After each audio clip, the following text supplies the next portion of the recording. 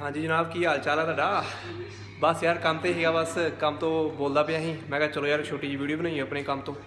ਬੂਲਵਰਥ ਕੰਮ ਕਰੀਦਾ ਆਪਾਂ ਯਾਰ ਇੱਥੇ, ਰੋਮਾ ਦੇ ਵਿੱਚ। ਤੇ ਦੇਖ ਲਓ, ਆਹ ਸਾਡਾ ਸਟਾਫ ਰੂਮ ਹੈ।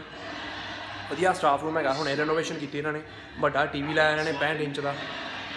ਤੇ ਵਧੀਆ ਸਟਾਫ ਸਾਡਾ। ਫੋਨ ਫੋਨ ਚਾਰਜਿੰਗ ਕਰਨ ਵਾਸਤੇ ਆ। ਆ ਸੋਫੇ ਪਏ ਆ ਇੱਥੇ।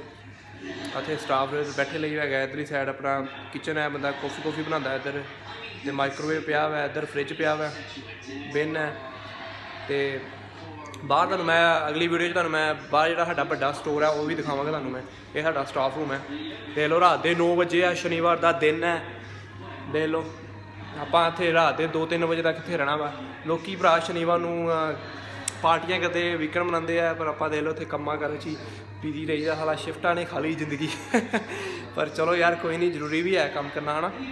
ਕੰਮ ਤੋਂ ਬਗੈਰ ਵੀ ਕੀ ਲਾਈਫ ਹੈਗੀ ਆ? ਬੰਦੇ ਦਾ ਸਟਰਗਲ ਕਰਨਾ ਲਾਈਫ ਦੇ ਵਿੱਚ ਬਹੁਤ ਜ਼ਰੂਰੀ ਹੁੰਦਾ ਵਾ। ਜਿਹੜਾ ਬੰਦਾ ਸਟਰਗਲ ਨਹੀਂ ਕਰਦਾ ਲਾਈਫ ਦੇ ਵਿੱਚ, ਉਹਨੂੰ ਲਾਈਫ ਦਿੰਦੀ ਵੀ ਹੈ ਨਹੀਂ ਕੁਝ ਐਵੇਂ ਸਾਲੇ ਵਿਹਲੇ ਬਹਿ ਕੇ ਭੈਣ ਚੋ ਢਿੱਡ ਵਧਾਉਣਾ, ਇਸ ਤੋਂ ਚੰਗਾ ਕੁਝ ਕੰਮ ਕਰੋ, ਹਨਾ? ਆਪਣੀ ਲਾਈਫ ਦੇ ਵਿੱਚ ਕੁਝ ਏਮ ਸੈੱਟ ਕਰੋ ਗੋਲ ਸੈੱਟ ਕਰੋ। ਪੈਸਾ ਜ਼ਿੰਦਗੀ ਦੇ ਵਿੱਚ ਸਾਰਾ ਕੁਝ ਨਹੀਂ ਹੁੰਦਾ, ਪਰ ਪੈਸੇ ਨਾਲ ਕੋਈ ਜ਼ਰੂਰਤਾਂ ਪੂਰੀਆਂ ਵੀ ਕੀਤੀਆਂ ਜਾ ਸਕਦੀਆਂ, ਹਨਾ? ਬਟ ਐਨੀਵੇ ਸੋ ਤੁਹਾਨੂੰ ਇਹ ਮੈਂ ਕਿਹਾ ਚਲੋ ਯਾਰ ਛੋਟੀ ਵੀਡੀਓ ਬਣਾਈ ਤੁਹਾਨੂੰ ਆਪਣਾ ਸਟਾਫ ਰੂਮ ਦਿਖਾਈਏ। ਓਕੇ ਭਰਾ ਟੇਕ ਕੇਅਰ ਬਾਏ